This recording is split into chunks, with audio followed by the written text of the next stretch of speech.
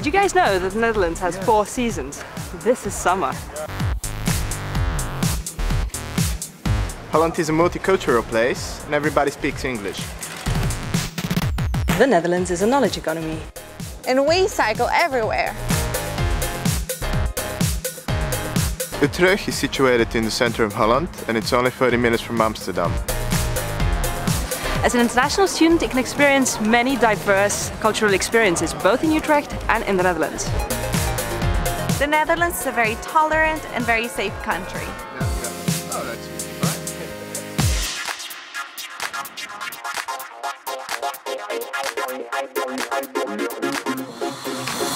Utrecht is a great university city. It has a wonderful city centre, but it also has the Uithof, which is a modern campus where you have state-of-the-art technology.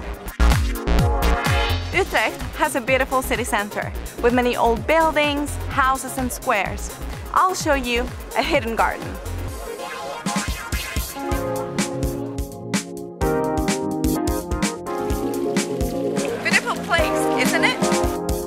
The quality of life in the Netherlands and in Utrecht is very high.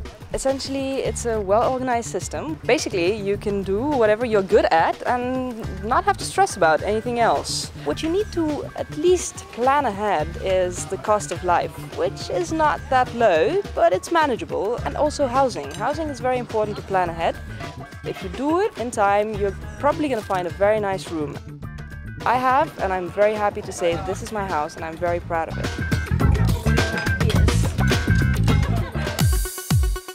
Utrecht University helps you through the Utrecht Feel at Home service with the application process. That means it helps you get a residence permit, it helps you apply for a bank account, and nonetheless with the housing. And that is quite vital. We also have the Erasmus Student Network that assists international students by, for example, meeting you up or picking you up at the airport. Now I'm gonna show you the room of ECU 92. Hello Gabby. Hey, how are you? Well, ECU 92 is a student association designed for economics students here at Utrecht School of Economics. Throughout the academic year, different events are organized.